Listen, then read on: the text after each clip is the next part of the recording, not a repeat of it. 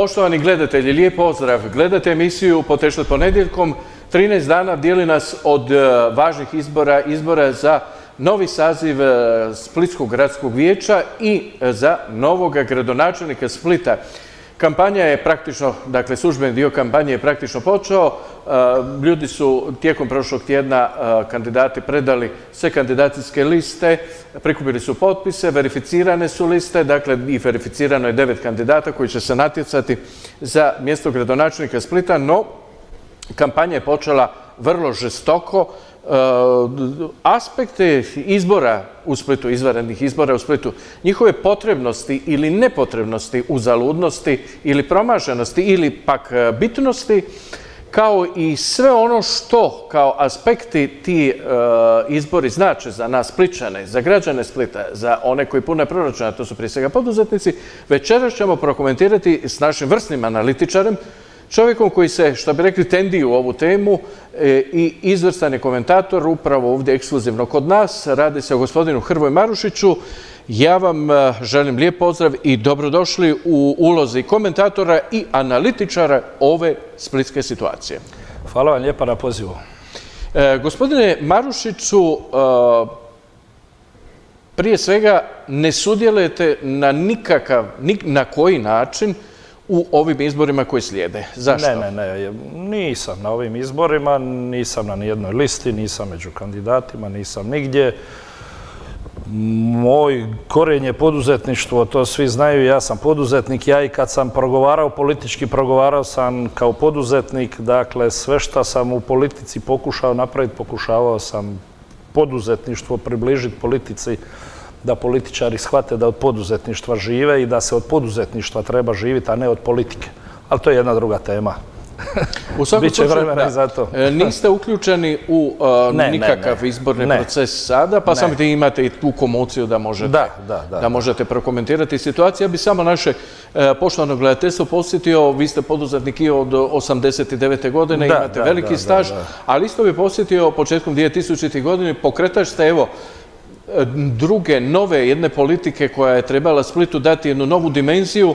Donijeli ste, e, dakle, s listom velog mista, što se kaže na stol, e, razrađene projekte od 2 milijarde eura gradu Splitu ponudili, grad Split je rekao ne hvala, nama milijarde ne trebaju, nama trebaju ustaše i partizani. To je ono što je esencijalno da bi se išao u budućnost. Molim vas, vaš komentar prije svega na to. dobro, ja sam u to doba i u dva mandata zapravo zaredom po četiri godine bio predsjednik HUPA, Hrvatske udruge poslodavaca za e, Dalmaciju. Tako da sam bio u stalnom kontaktu sa poslodavcima, s poduzetnicima. Eh, HUP je tada bio još i uvijek krovna udruga hrvatskih poslodavaca i pokušavaju ljudi stvarno poduzetništvo približiti eh, eh, politici. Jedno bez drugoga ne ide. Dakle, mnogi ljudi krivo shvaćaju da poduzetnici nemaju šta raditi u politici, ali recimo djelatnici nekakvih političkih struktura e, kroz Banovinu, Županiju, da govorimo ovdje o, Splitu ili nekakvih agencija razvojnih ili čega, oni mogu biti u politici. Dakle, to nema veze e, s ničim. Politikom se može i treba baviti svak koji ima potrebu za nešto reći, koga ljudi podržavaju, ko je prošao nekakav, e, neću reći filter, ali za biti predsjednik HUP-a neko vas mora izabrati, neko vas mora predložiti, neko vas mora i podržati u tome i to dva mandata zaredom. Prema tome e, bio bi vjerovatno i dalje, ali statut HUP-a ne dozvoljava više od dva mandata. Tako da ovaj... Znači niste ko Komšić, ono, malo odem pa onda opet dva mandata pa malo... Nisam se vratio više u HUP, u međuvremenu smo bili osnovali i Hrvatsku udrugu poduzetnika, gdje sam bio nacionalni e, predsjednik također u jednom mandatu, međutim, e, dan danas u Hrvatskoj na svim razinama, od gradske e, do nacionalne, poduzetništvo i politika su malo disfunkcionalni. Dakle, političari nikako da shvate da jedino poduzetnici pune proračun, a poduzetnici nikako da shvate da bi se trebali više uključiti u politiku ako žele da im bude bolje jer im niko drugi neće pomoći.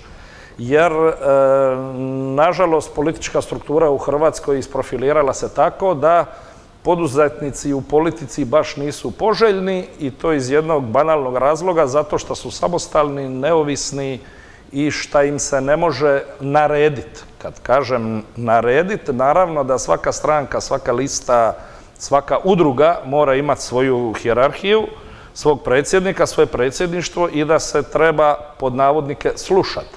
Ali naredba kao takva je u poduzetništvu nepoznata stvar, a u nekakvoj političkoj, stranačkoj hjerarhiji najnormalnija stvar.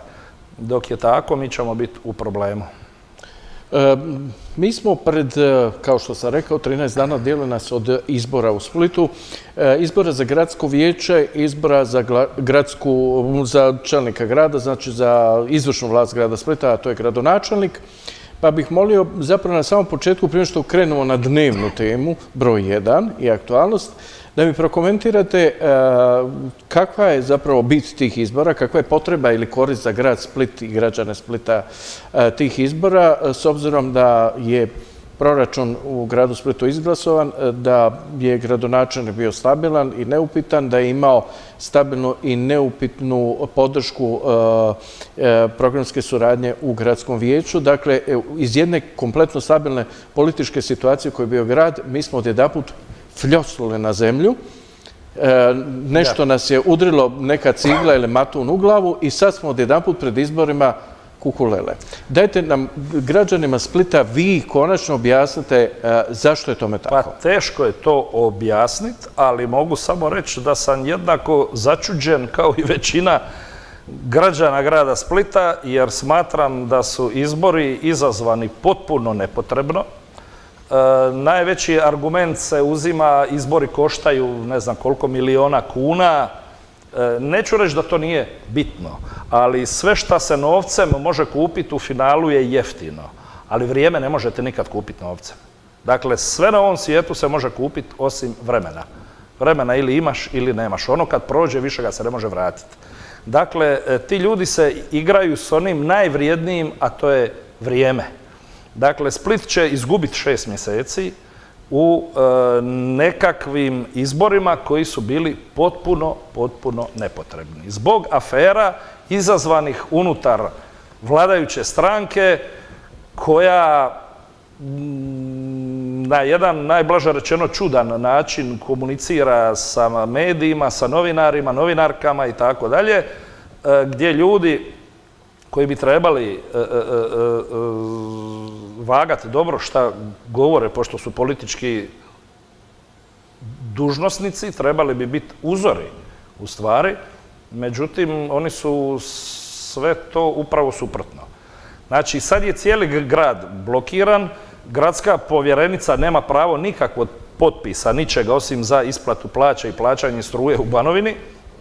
Sve stoji, svi i, i onako minorni projekti minorne investicije stoje, sve je blokirano u gradu Splitu, zato jer eto oni unutar vladajuće koalicije su napravili da na televiziji se ne izražavam nepristojno, ali ono što rade mala dica u pelene. Prema tome, ovaj, e, to se ne radi, to je neozbiljno i još neozbiljnije nakon svega toga je sad od građana tražiti e, e, e, da se glasuje za ponovo istu priču i obećava se u prvom krugu prolazi ne znam šta. Ja ne znam šta bi građanima trebalo biti pa da ponovo izaberu istu ekipu koja ih je jedan put već ostavila na cjedilu, ostavila grad u blokadi. Pardon. I da ne govorimo o ovoj najnovijoj aferi koja je jučer se pojavila, gdje je stvarno nevjerovatno da, da, da se takve stvari mogu uh događati. Da...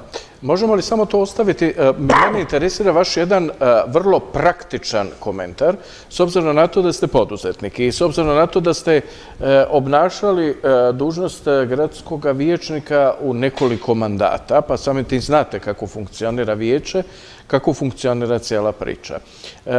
Mi sada imamo izbore, nakon izbora sigurno postoji nekakav postoji nekakav period konstituiranja, pregovora, razgovora i tako dalje. Kad se sve to završi, u nekakvoj optimističnoj verziji e, očekujemo da bi zapravo negdje u jesen, kasnije u jesen, jel, e, došlo možda i do rebalansa proračuna i tako dalje, tako dalje, sada skratim priču. Nekome ko dobije vlast, ostaje zapravo dvije godine mandata. Pa što neko može napraviti u dvije godine mandata? Mislim, to gledam sad u kontekstu svih obećanja, svi nešto obećaju. Ali za Boga miloga za dvije, nešto malo više od dvije godine, nakon toga su izbori. Pa što ti možeš napraviti u dvije godine mandata? Što se može napraviti? Je li se išta može napraviti? Ništa. I čemu onda obećanja? Ništa I čemu zapravo iz razloga što to nije dvije godine mandata, to je godinu dana mandata, jer e, izborna godina, kad nastupi izborna godina, više nema ničega, svi se počnu već baviti predizbornom kampanjom, svi se boje, ne bi li šta krivo potpisali, pa da se to ne odrazi na buduće e, izbore i tako dalje, tako dalje, tako da to je još jedna potvrda potpune bespotrebnosti ovih e, izbora, e, potpune blokade grada Splita od onih koji očito nisu u stanju voditi ovaj grad, kojim ničim nisu dokazali u svom minulom radu u životu da išta mogu voditi. Prema tome, ti ljudi nikad ništa konkretno nisu radili. Zašto neko misli da bi oni mogli voditi grad Split? Po nikakvim referencama oni ne bi trebali biti tu. Osim što su se ljudi zasitili svakojakih političkih lumena, do sada na političkoj sceni, što je točno, i onda su opalili kontru. Ali mislim da je ta kontra nas skupo koštala, a da će nas koštati još skuplje. Ne mislim u političkom smislu, ma mene stvarno ne zanima u ovom trenutku ni Puljkovo, ni bilo čije političko opredjeljenje. Meni kao poduzetniku je ono u ovom trenutku na gradskoj razini, kad govorimo, nebitno. Meni je bitno šta oni mogu napraviti za grad Split. Ja mislim da ne mogu ništa. Oni su bili godinu dana na vlasti, ispilali su dva stupića, makli jedan kiosk, e, e, e, makli šatore u Hrvojevoj i to je njihov domet u godinu dana. Imaju I nakon toga su se I nakon toga su se raspali. Što je s investicijama? Imaju li knjigu investicija? Ne. Nema, nema. Pa od čega ćemo mi živjeti ako nemamo investicije? To ti ljudi ne znaju, jer oni misle da novci padaju s neba. Oni nikad nisu na tržištu zaradili ni jednu kunu. I oni jednostavno ne razume da taj proračun neko mora puniti. Ma po stoti put ponavljam, jedino poduzetnici pune proračun. Niko drugi ga ne puni. Ili banke kreditima, ili poduzetnici iz onoga što plaćaju. I radnici grada Splita, to ne smijem nikako zaboraviti reći, čiji prirez isplaća 15%, dakle najveći u Hrvatskoj, kojega je HDZ u prošlom mandatu... To znači da smo bogat grad, je li tako? Mi smo izuzetno siromašan grad, zato jer su nam nameti veliki. I kod nas, kad se kaže plaće su male, nisu plaće male, plaće su male neto. A kad gledate bruto, dakle, ako vi radniku isplatite 7,5 tisuća kuna plaću, to je nekih tisuću eura, a morate dati 14 tisuća kuna ukupno, bruto, Dakle, radnik poslodavca košta pod navodnike, kad gledamo brojčano, košta ga 2000 eura. Koji u Njemačkoj? Ali radnik dobije 1000. Zato jer država, gradovi, jedinice lokalne samouprave uzmu pola.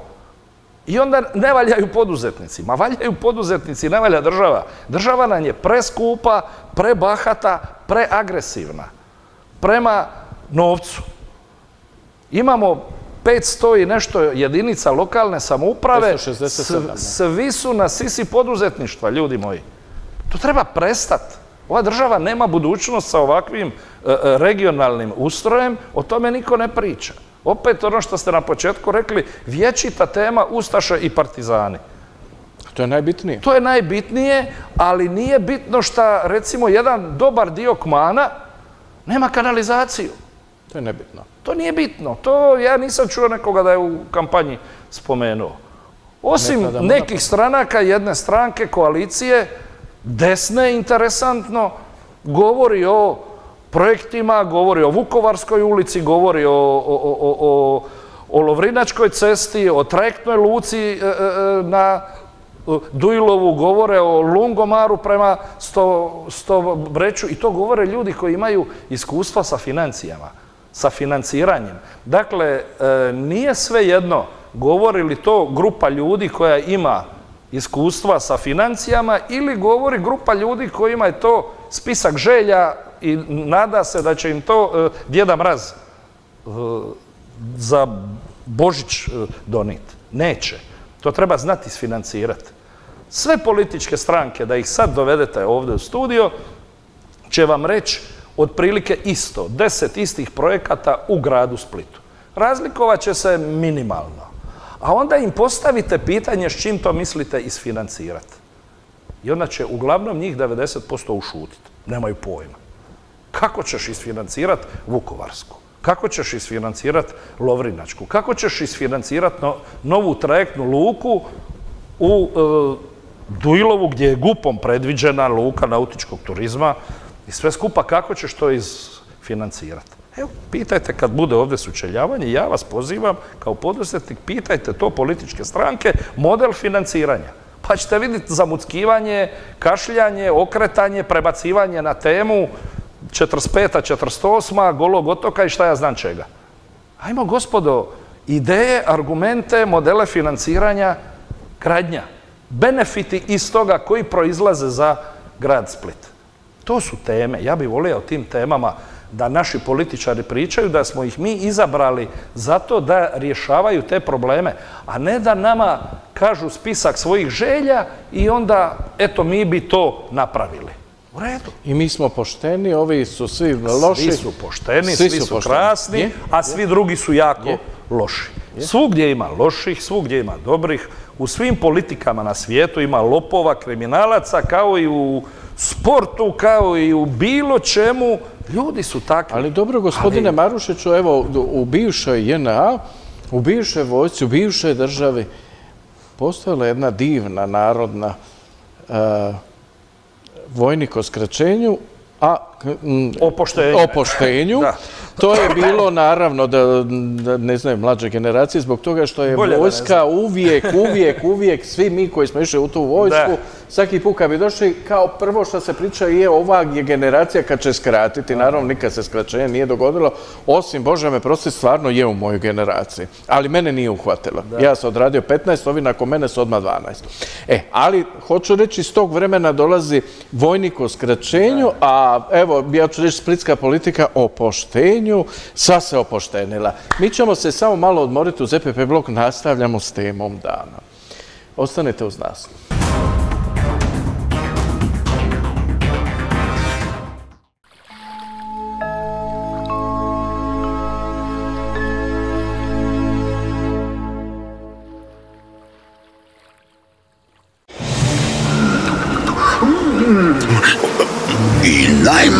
Među nama su važni kad kada daju najslađe plodove prirode. Ma neću više šutit. Nema ribe, neće biti ribara. Vidjela sam svijeta, ali svila sam gnjezdo u Hrvatskoj. Neka se čuje i moj glas. Zato poslušaj glas prirode. Čuvaj bioraznolikost Hrvatske. Saznaj kako na glasprirode.hr. E-komunikacija štedi vaše vrijeme i olakšava pristup sudovima. S bilo koje lokacije možete saznati sve o vašem sudskom predmetu. Brzo i jednostavno provjerite status vašeg predmeta na sudu, bez odlaska na sud, bez čekanja, bez registracije. Uz e-usluge pravosudnog sustava štedite vrijeme i novac.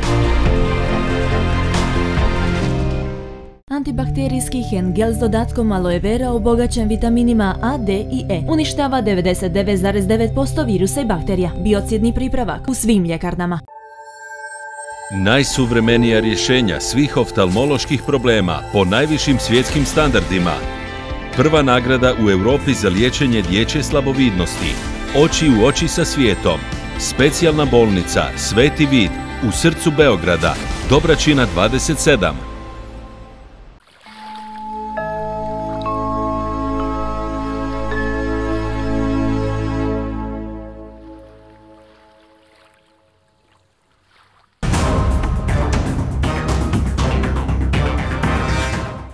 Poštovani gledatelji, za one koji su se naknadno uključili, naš e, komentator i analitičar splitske političke, društvene i uopće scene, gospodarske prije svega, Hrvoje Marušić je s nama večeras u studiju. Gospodine Marušiću, evo, e, pokušavamo pronaći odgovor koji je zapravo najtajanstveniji odgovor svih e, pitanja koje se postavljaju u Splitu, a to je čemu služe izbore na koje idemo. Mi, evo, pokušavamo se shvatiti, ali nikako ne možemo shvatiti.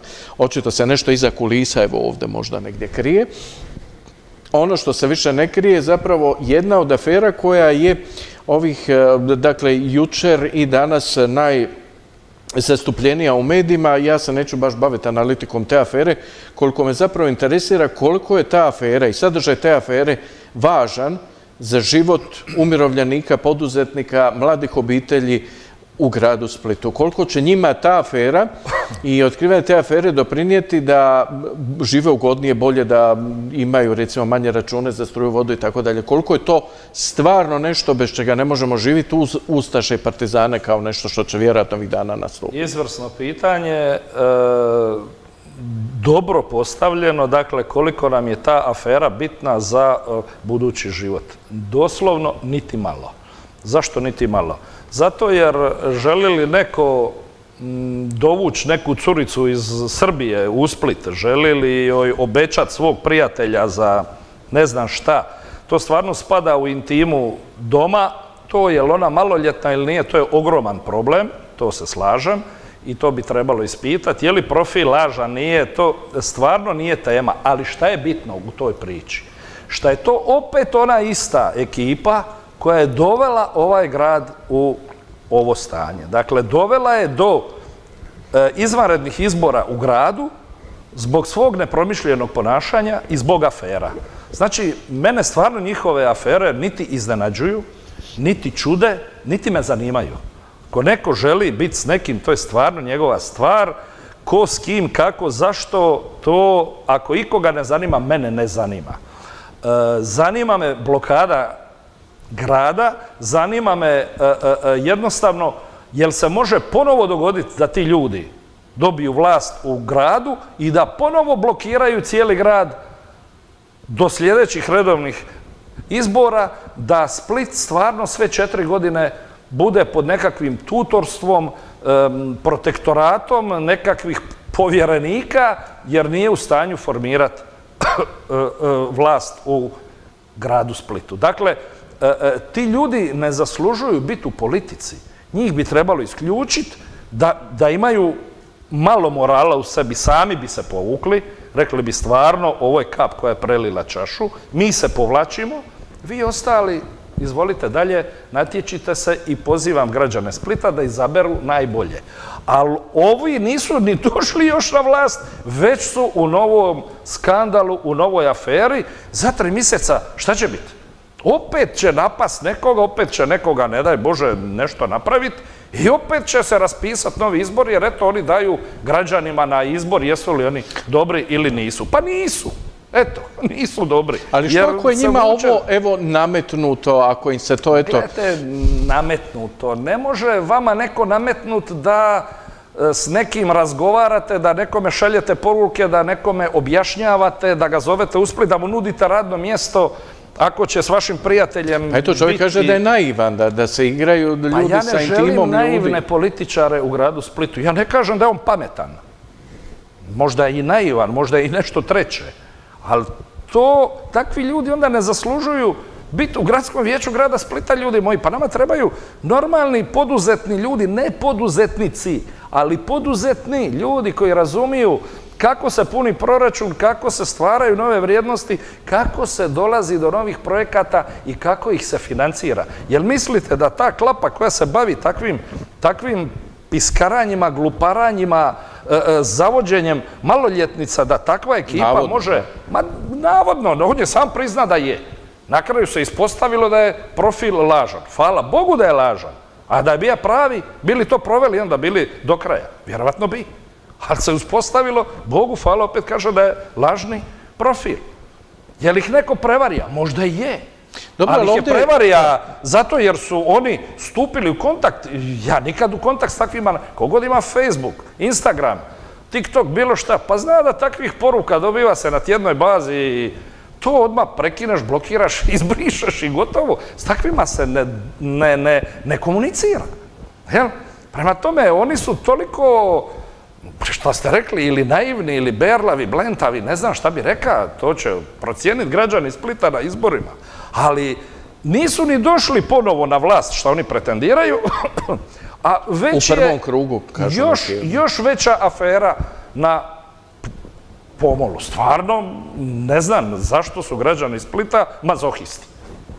Ne, ali u da- dakle, to me interesira to što ste rekli, zapravo koreliranje između ta- a, jednog a, rada koji je voditi grad Split e, kao komplicirani mehanizam ogromnog rada, grada koji nije samo Split, nego zapravo od nas jako puno očekuju svi gradovi oko nas. Dakle, to je jedan konglomerat od skoro pola milijuna stanovnika. E, U kakvoj korelaciji to može biti sa ljudima u gradskoj vlasti koji, koji zapravo priznaju da naivno upadaju ovakve zamke? Koliko onda, e, kako zapravo, kako na kraju, evo, Spličani, što Spličani zapravo mogu razmišljati onda o svojoj vlasti, o uopće o vođenju grada, je li nam onda treba vlast u gradu ili ne grad vodi sam sebe? Mislim, e, jednostavno svi smo u konfuziji od svega ovoga što nam se događa, a svi želimo dobro za Split. Ko je taj ko, ko mora očistiti situaciju da nam svima bude jasno? Građani Splita na izborima. Nema ko drugi to riješiti. Dakle, mi smo se izborili za demokraciju. Demokracija je tu. Izbori su, rekli ste, za ne znam koliko, 14, 15 13 dana. dana. 26. na moj rođendan. Eto, meni je rođendan taj dan. Pa ćemo vidjeti, Čestitamo. Čestitamo. pa ćemo vidjeti ko će slaviti. Ja hoću. Kako bilo da bilo. Pridružujemo se slavi. tako je, napravit ćemo feštu ovdje ako treba. Super, super. Tako da ja taj dan slavim. A e, građani bi trebali biti stvarno, ne mogu ja nikome soliti pamet, niti mi to pada na pamet, ja iznosim svoje stavove, svoje mišljenje, na to Bogu hvala imam pravo, demokratska smo zemlja, demokracija je kod nas i izlaze na birališta 26.6. i procijenit će građani, hoće li izabrati one koji će ponovo zbog nekakvih svojih suludih afera, koje su na razini osnovne škole, blokirati ponovo grad u sljedećem periodu ili da su ti ljudi imalo moralni kao što se predstavljaju prema vani. Oni bi se iz ove izborne utrke povukli. I onda bi oni mogli govoriti o nekakvom svom obrazu i poštenju. Reći, mi smo stvarno sad napravili problem, tu su dva naša člana opet uključena, jedan koji je već bio uključen, sad opet drugi koji se pojavija. Prema tome, sutra će biti treći. Uvijek iz te ekipe. Koliko stranaka imate u Splitu, lista i svega? Pa uvijek iz te ekipe se problematični javi. Dakle, oni bi se trebali povući iz kampanje i pustiti ove druge. Ima tu i ljevih i desnih dalje. I pustiti ove druge da se natječu, da građani to izaberu. Ili ako se ne žele povući, a čisto sumnjam, da će se oni povući jer nisu zato došli da bi se povukli. E, e, e, građani im trebaju onda reći ne želimo takve ljude na čelu grada jer vi nećete odvesti grad tamo gdje mi hoćemo. A to je red, rad i razvoj. Dakle, iz afere u aferu, iz izbore u izbore, to ovaj grad neće odvesti nigdje. Građani 26. imaju kemijsku olovku, izvolite, zaokružite one koji nisu u aferama. Dakle, ne navijam za nijednu stranu, definitivno, ali sam protiv onih koji su doveli grad u blokadu, koji ga ponovo vode u blokadu i njihovim izborom možemo očekivati jedino probleme. E, gospodine Marušić, upravo ste rekli 26.6. E, to je dobro rečeno, 26.6. rješenje, e, jer to rješenje je zapravo u rukama građana grada Splita. Meni je samo žao što je evo počela službena kampanja, počela je sa vijestima, odnosno nekakvim aferama koje nemaju nikakve veze sa izbornim programima. Mi bi zapravo svi htjeli vidjeti što se u izbornim programima nalazi, iščitati nešto, možda pronaći nekog favorita, a zapravo ovdje sada se bavimo nekakvim Aleksandrama iz Srbije ne znam čim. Mislim, to je, to je svaka Ma, čast Aleksandrama da, u Srbiji, ali to je stvarno, e, kakve to veze ima, dakle, opet ponavljam, ljudi bi upravljali sa, gradom, sa životom, dakle, sa životom u gradu Splitu, mladih obitelji, umirovljenika, kojima rastu cijene, koji su u strahu od sutra, koji su u strahu od eura, koji su u strahu od ovog, od onog i tako dalje, koji u svom gradu više normalno ne mogu funkcionirati jer stvarno ne znamo više šta i kako, kad jednostavno gdje parkirati, gdje otići. Evo, ja gledam u primjeru svoje majke i tako dalje, svih penzionera, penzionerki, koji jednostavno ih je strah otići do bolnice nazad, ne znaju kako će doći, kako će se vratiti, nema taksija, e, autobusi, e, ko zna kad vode. Mislim, jednostavno nama je potreban grad u gradu, a ne afere sa Aleksandrama i Srbije. Dajte, molim vas, recite kako, na koji način. Bolnice. E, to je jedan dobar primjer dvostrukih mjerila ove ekipe. E, Tomašević i njegova klapa u Zagrebu koji se guše u smeću gore, jel? koji su grad doveli do ruba ludila, e, to je ta osovina Split-Zagreb, koju bi treba tvoriti Puljak i Tomašević. Ako oni tu osovinu naprave, ovi ostali šaptom padaju. Prema tome, ja ih zovem u političkom smislu riječi osovina zla. Zašto? Zato jer ne nose ništa dobro. A to su činjenice, notorne činjenice, dakle to nisu priče za malu djecu. Dakle, Zagreb se guši u smeću, u Zagrebu se postavljaju trivialne teme e, e, e, koje su nebitne za razvoj grada. U Zagrebu nema investicija novih. Bandić je umra, prema tome nema šta navijati za njega, niti ikad bio njegov fan, šta bi rekli neki, da pač. Ali ima nekih drugih ljudi u Zagrebu koji bi znali raditi taj posao. Ali upravo ta osovina, Zagreb, Split, i zato su isprovocirani novi izbori u Splitu, da se ta osovina ojača. Ali ta osovina ne vodi ničemu dobrome. Dakle, ta osovina marginalizira sve ono što čine hrvatske vrijednosti. Temelj je obitelj i dom. To oni e, ignoriraju, zanemaruju i stavljaju van van e, fokusa životnog. E, prema tome mi e, kad se u Zagrebu kandidira Tomašević napaje tada Škoru da na privatnom zemljištu ispred bolnice Merkur u Zagrebu naplaćuje parking. Pazite, na privatnom zemljištu čovjek naplaćuje parking.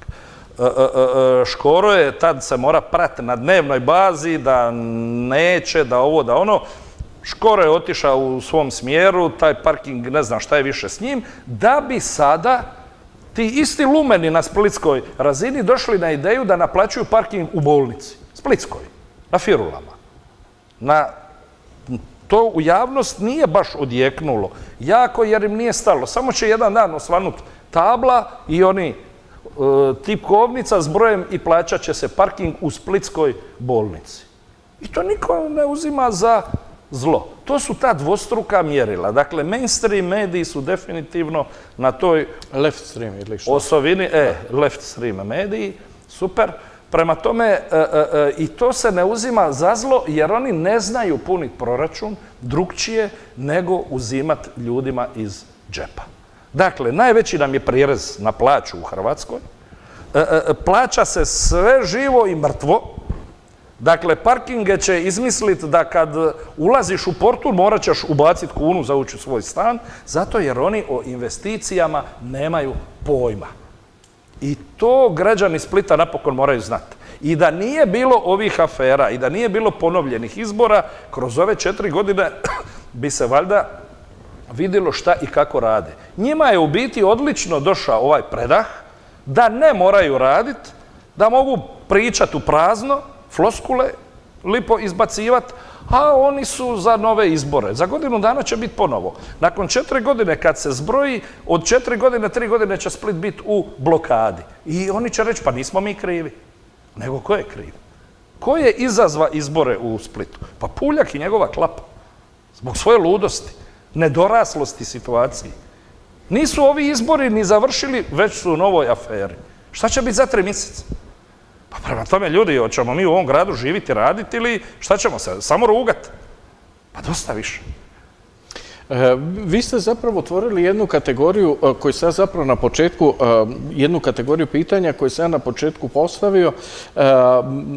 Najčešće gradske vlasti padaju radi neprihvaćanja proračuna. Imali smo situaciju u gradu Salinu gdje je bila vrlo napeta i neizvjesna situacija upravo glede proračuna gdje je gradonačelnik dolazi iz jedne političke opcije, gradsko vijeće, njegova većina u gradskom vijeću je druga politička opcija opcija koja su protiva e, gradonačelnikoj političkoj opciji. Ovdje u Splitu smo imali ne samo da je proračun prošao, nego je i zapravo e, programska suradnja u gradskom vijeću bila u koriste gradonačelnika. I to se zapravo po svim definicijama političke nekakve paradigme, što je popularna hrvatska riječ, može nazvati kao stabilna politička situacija ili uglavnom stabilna politička situacija. No pitanje koje ću ja postaviti je zapravo što sutra? Kolika je šansa da mi zadržimo stabilnu političku situaciju, odnosno odnose u gradskoj vlasti gdje će gradonačelnik dolaziti iz jedne opcije, ali isto tako i imati podršku u vijeću. Što ako se u Splitu, a što je visoki, visoki stupanj vjerojatnoće, jer je Split ipak politički dosta kompliciran grad, što ako izgubimo taj moment stabilnosti i zapravo dobijemo gradonačelnika iz jedne političke opcije, a gradsko vijeće, većinu u gradskom vijeću iz druge političke opcije. Što nas onda čeka tek? Onda nas čeka tek još veći problem nego ovaj što je sada stvorio Puljak i njegova klapa. Dakle, Puljak je ima većinu. Puljak je ima sve da normalno upravlja gradom. I proračun. Dakle, ima i ljevicu, ljevicu uz sebe, kompletnu ljevicu i most. Most se priključuje ljevici, to je njihovo legitimno pravo da su išli lijevo, most se opredijelio za ljevicu, u redu, most je lijevo i oni su e, e, sad e, stvorili vlast u gradu Splitu. Oni su imali stabilnu vlast u gradu Splitu. Zašto su isprovocirani izbori? Pa zato jer su vidjeli da se ne snalaze, da nemaju rezultate rada. Da će kroz četiri godine ljudi vidjeti da oni ne razume ništa. I onda je ta afera njima u biti jako dobro došla. Ova im sad nije baš dobro došla. Ali ta prošla je. Zašto? Jer su isprovocirali nove izbore, jer sad mediji njih prate, kao oni su, eto, sad svoje mandate dali na raspolaganje građanima, Puljak se okolo hvali da će on u prvom krugu postati gradonačelnik, da drugog kruga neće ni pit. Puljka ne bi trebalo biti u ovom gradu jer on ne razumije ništa. To je činjenica, to nije da ja njega ne volim. Ja ga poštujem kao čovjeka, kao znanstvenika, kao profesora. Ja protiv tog čovjeka u tom segmentu njegovog djelovanja ne mogu reći ne ružnu riječ, nego ga mogu pohvaliti. Ja sam slušao neka njegova predavanja, on je meni vrlo inspirativan u svojoj struci. Ja mu na tome zahvaljujem. I bilo bi idealno da se drži tog svoga šta radi jako dobro. On je u politici totalni politički diletant koji je nanjušija nekakve valda novce, lakše nego u znanosti i prebacija se u politiku. Je li to iz nekih drugih razloga i drugih pobuda, ja ne ulazim u to. Ali, možda čovjek zaista želi nešto riješiti, želi napraviti nešto dobro. Ja bih volio da je to tako, ali ja vam kažem, srušiti, apsolutno da ima pravo, pa svak se ima pravo kandidirati. Pa zato to i govorim. Ima Opet kažem, mi smo demokratska država, svak se ima pravo kandidirati i svak ima pravo izaći na izbore i dati glas.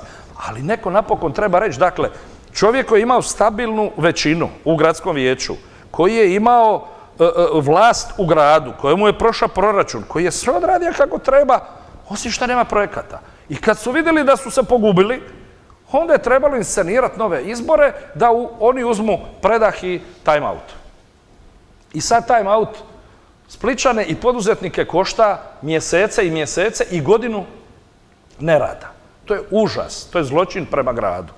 Evo kažem, sad nisu ni izabrani, već se stvorila nova afera. Ako ih se ponovo izabere, šta će biti za tri mjeseca? Opet neka afera i onda ćemo ići na nove izbore jer će se oni pravdati, eto, dogodilo se, namistilo na nje, izmislili su. Pa kako se to nekome nije dogodilo iz neke druge stranke? Evo uzet ću primjer SDP, Domovinski pokret, e, HSP ili bilo ko treći. Nego baš njima, uvijek njima. Pa ili su totalni diletanti ili su stvarno problematični. Ali jedno, drugo ili treće nisu za upravljanje gradom. I nek nas ostave na miru, ljudi moji, daj pustite nas da živimo, radimo, ako imate ti malo morala, povucite se iz ovih izbora, ostavite ove sve druge kandidate, ima tu izbora i ljevica i desnica i svega, ljudi će znati izabrati ono što im paše. A ljudi koji nakon svega ovoga njih biraju, pa meni njih žao. Meni tih ljudi žao jer oni očito onda ne razume bit e, demokracije, bit funkcioniranja grada i od čega oni misle da će ovaj grad živjeti. Od afera se ne, živi. Stvarno moramo postaviti pitanje, malo sam se nasmijao, ali evo, Aleksandra iz Srbije postale zapravo glavni, e, glavna tema izbora u Splitu, dakle, m, ona je programsko načelo, mogu tako reći, dakle, mi se svi sad bavimo s njom, pa sad Aleksandra, ne, ne bavimo, e, e. recimo od Milja, je li ona ceca ili caca? Pa od milja, ona je miljama tamo daleko. Šta se mene tiče, Ne, nek vaše ona tamo, ona i stoji, ja o njoj uopće ne razmišljam, niti o tim likovima koji su akteri te afere.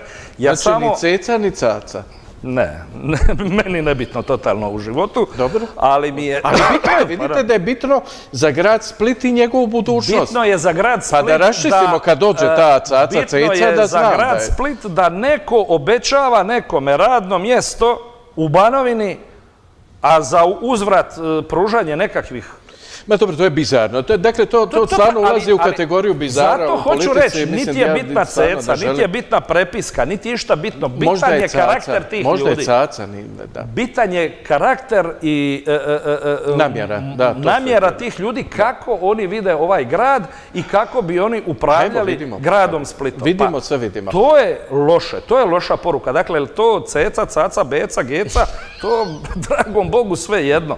Ali to je nakupina ljudi koji ovaj grad ne doživljavaju kako ga doživljavamo mi drugi kojima je stalo da Ali ja ovaj ne bih grad htio da me ostavite funkcionira. u dilemi ili ceca ili caca. Ne znam. Dobro. Eto, ipak će dilema ostati do kraja. ipak da ostane dilema do kraja izbora. E, gospodine Marušiću, dakle, rekao sam, ovo stvarno ulazi u područje bizara, mislim da Split ne zaslužuje. Nikako ne e, zaslužuje ovako zaslužuje, e, m, e, biti ponižavan. Mi cijelo vrijeme se tučemo u prsi da smo ponosni na grad Split, a mi se toliko ponižavamo i samo kažnjavamo. E, evo sad i sa cecama i ne znam, imamo taj štokonski sindrom. Ne, ja ne znam šta nam je, Da. ali se strašno volimo kažnjavati, dakle mazohistični smo. Da ne bi svi u Splitu bili mazohisti, e, ja bih vas evo za posljednjih nekoliko minuta stvarno zamolio kao čovjeka, kao hupovca, kao poduzetnika od 89. godine, kao čovjeka koji je toliko napravio puno u poduzetništvu i dao, rekao sam, donio gradu 2 milijarde eura na stol investicija, pa su rekli hvala To su lijepo. poduzetnici napravili Da, to je e, ovako idejnu suplik- projektnu tako. dokumentaciju koja je predana gradu Splitu od strane HUP-a na koju nikad niko nije trznuo. Naravno, jer imamo, opet vam ponavljam, ustaše, partizane, to je Ne, nešto nego što ništa nam... ne razume, njima to ništa ne znači. Oni, mi, e, e, evo vidite, opet ću se vratiti na ovu garnituru sada. Njima da je predat, ti projekti su još negdje u gradu Splitu.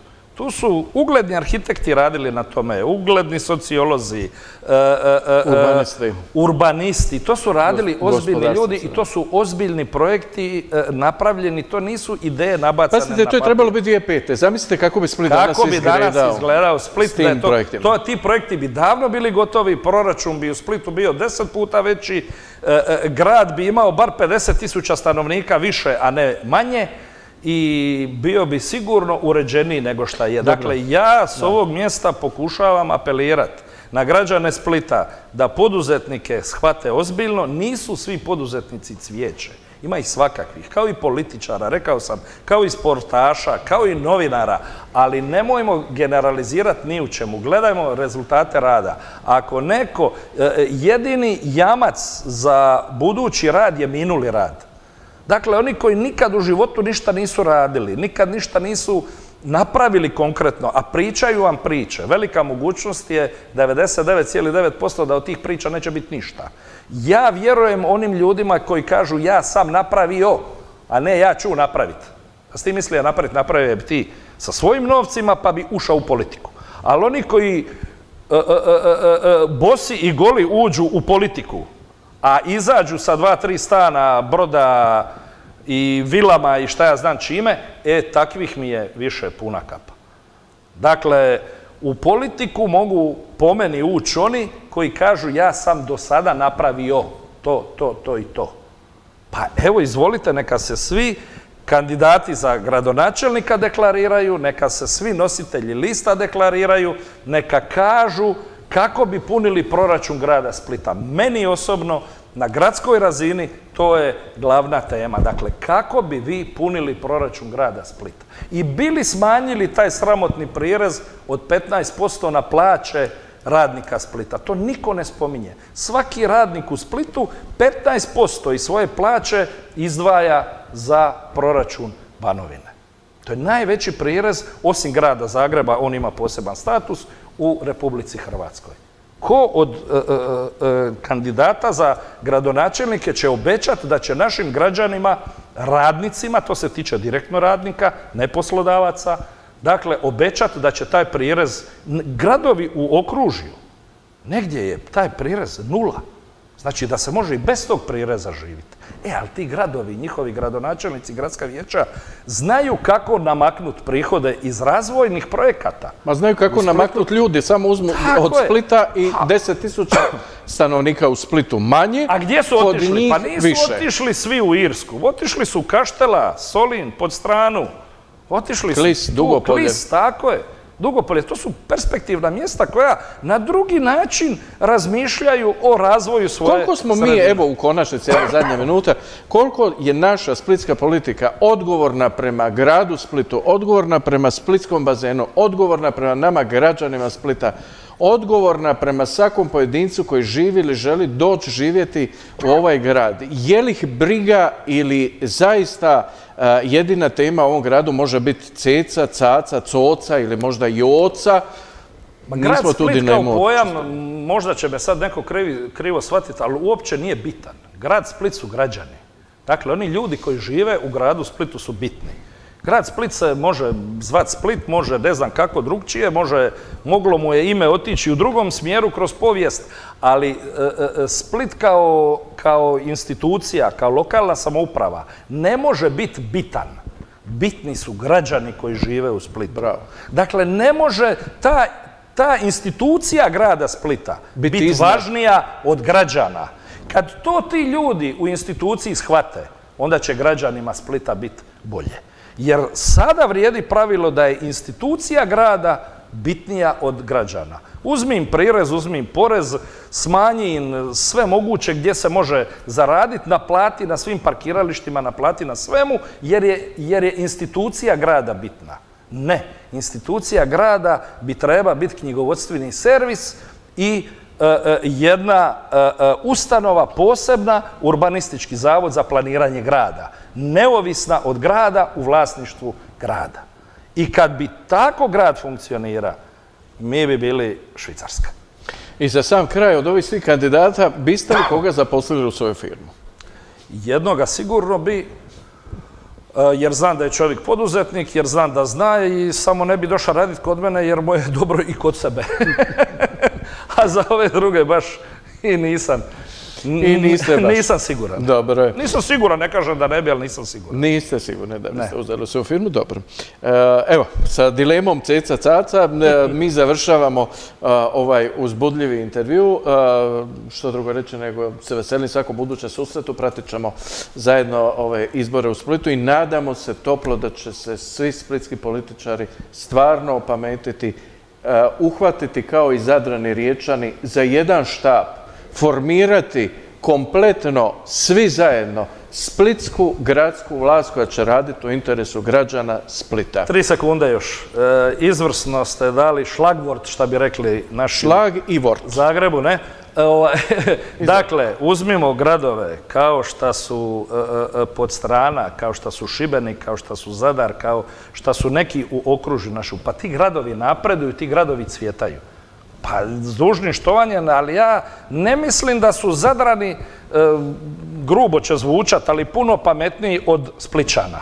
Ili možda jesu. Tu dilemu ostavljamo na Ostavljamo je. Hvala još jednom. Hvala vam. Poštovani gledatelji, bilo je to sve u Poteštatu ponedjeljkom. Gledajte nas idućeg tjedna do tada. Lijep pozdrav i do gledanja.